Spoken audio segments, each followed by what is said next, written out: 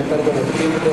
a los ganadores en esas dos categorías principalmente, después saldrán los autos desde Rosario y por último, en último lugar, tendremos el arribo aquí al autódromo de Varadero de los camiones que como decía Carlitos y como es ya habitual, los rusos estarían liderando en esta competencia, en esta categoría de moles, como se le dice a los camiones. Exacto, Nicolás, eh, y bueno, estamos viendo